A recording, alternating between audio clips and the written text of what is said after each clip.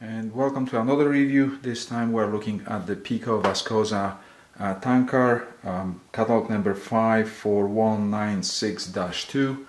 This is the Piko Classic series, which means it's not the top of the line model. The overall first impression when you take the product out of uh, out of box is actually uh, quite good, but you cannot notice uh, the inexpensive and cheap ladder and the soft plastic catwalk on top of uh, of the car.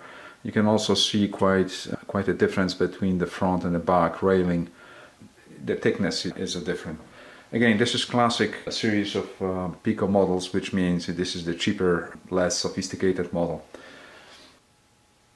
As you can see the overall appearance is actually quite good and the paint quality is very good as well. Unfortunately you can't miss this inexpensive soft plastic uh, railing and, uh, and a catwalk.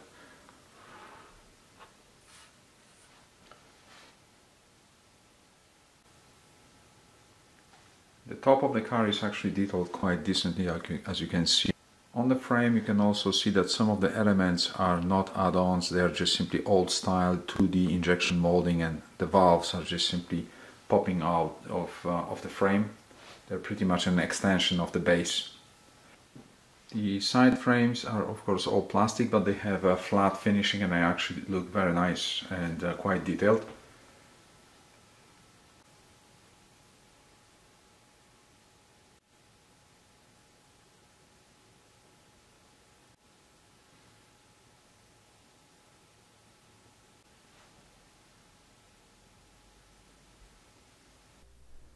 In conclusion, make sure you adjust your expectations accordingly. Uh, you are buying Piko Classic edition of model, which is the lower grade of models.